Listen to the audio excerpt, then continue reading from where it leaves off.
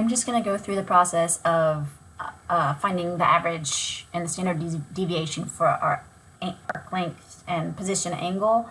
And because, as we've already noticed, using the aperture radius of 3 from Astro ImageJ doesn't give us consistent results. So uh, I don't think we can use that. So I'm just going to use all of the data that use an aperture radius of 2 for all of the images that we did. And so we have about five images. It turns out that going less than 0.05 seconds actually was too short of an exposure time to get useful data. We really need a larger telescope for this, for these double star pairs. They're very, very close. In any case, so I'm just gonna um, I'm just gonna collect. Let's see, I'm gonna copy all of these and then delete. Um, I'm just gonna put them down here, paste, and then I'm just gonna delete the ones that um, are not are not aperture two.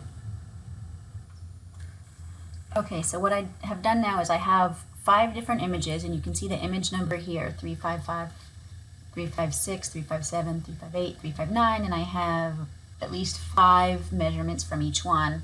And I'm just going to literally just average. So here's our position angle and our separation. I'll just put that, label those um, right there. So I'm literally just gonna average those. We just equals the average, average of those.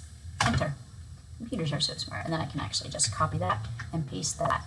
And I will continue to do that.